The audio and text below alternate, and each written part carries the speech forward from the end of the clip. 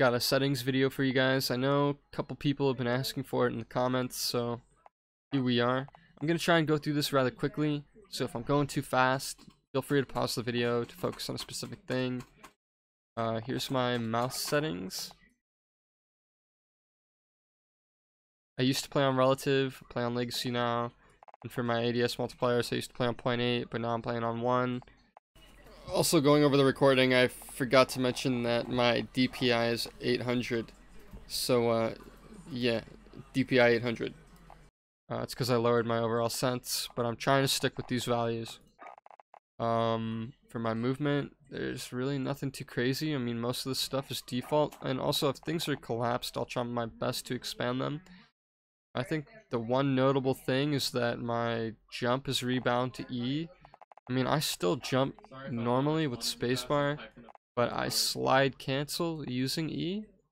It's just the, uh, I don't know, it makes it easier for me. It's all preference. Um, for my weapon and equipment and stuff, I have my switch weapon minimum delay set to zero. So when I use my scroll wheel really fast, I'll probably give you guys like a, a clip here to show you what it does. It's It doesn't really do anything, it's just sort of weird looking and I like to get a reaction out of people.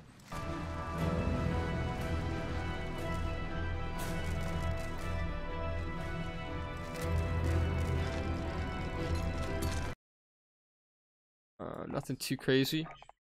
Most of the stuff is pretty much default.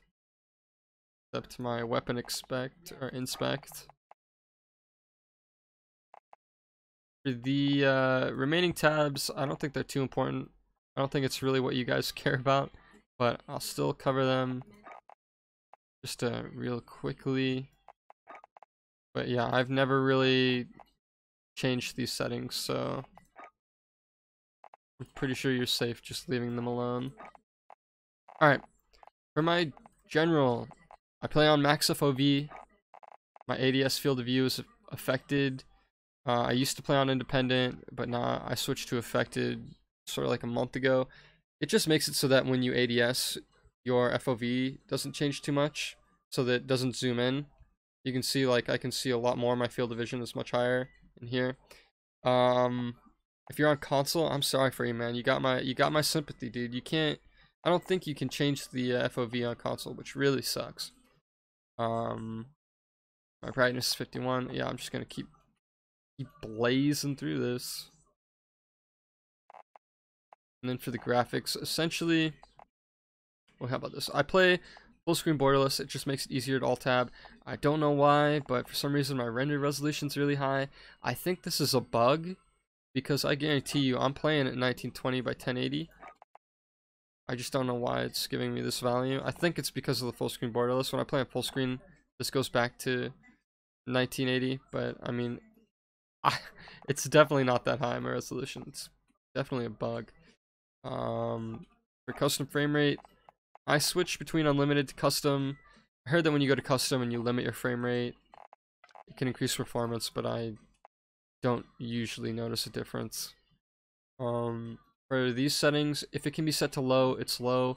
If it can be disabled, it's disabled. There are a few exceptions, like my texture filter anisotropic. It just gives you clearer image, and I found that like when this is on low and normal, there really isn't a difference in performance. If you're really trying to squeeze every extra frame you can get, then put it on low. But I really don't think it'll make a difference. Uh, bullet impacts and sprays disabled. Um, it's pretty much all disabled. My cache spot shadows and my cache sun shadows are enabled because I actually think this helps with performance, which is nice. And other than that, yeah, everything's pretty much lower disabled or off. For the motion blur, I have world motion blur off just because it's a clear image when you're moving around. Makes it easier to spot people. I have my weapon motion blur enabled just because I feel like it gives my gameplay this like illusion of smoothness, I guess. I don't know. I think it's nice. So I have it enabled. For my audio I play on boost high. I've experimented with every single audio option. Once again, it's all preference. but for me, boost high is where it's at. Everything else sounds a little too bassy. Sounds like I'm listening to my game through a very thick wall when I have it on other things, and I don't really like that. Sounds too bassy. Uh, I change my master volume a lot just because, you know, sometimes my hearing is better on one day and not so good on another. Um, yeah, that's pretty much it. Hope you guys enjoy the settings if you try them out. I have one quick tip for you. It's worked for me. I don't know if it'll work for you guys. It's pretty much all I can say, but um, don't change your sensitivity too often. I used to have a really bad habit of changing my sense like almost daily. Um, I think that you would benefit if you stayed on a very similar sense. What I would recommend and what I do personally is uh, if I'm feeling a little slow, I'll raise my sense to like 7. If I'm feeling like uh, I don't have enough control, I'm moving a little too quickly, then I'll put it down to 6. But I always try and stay within like this range. I feel like that helps a lot. And I've played on pretty much every sense imaginable, dude. I've played on a uh, like a 200 centimeter 360 all the way up to uh, 10 centimeter 360 and not I didn't just try them out. Like I play I played on those senses for for a while, and I just I feel more comfortable or most comfortable with a uh, 6.5. It gives you that speed, like that the, the high sense, but it's also pretty manageable in my opinion. Anyways, hope you guys enjoyed. Don't forget to like, comment, and subscribe, all that jazz. I know you, you guys hear that all the time, but uh, it does really help uh, the channel grow. And that's what I'm trying to do. I'm trying to grow the channel. So thank you guys. I really appreciate all the support.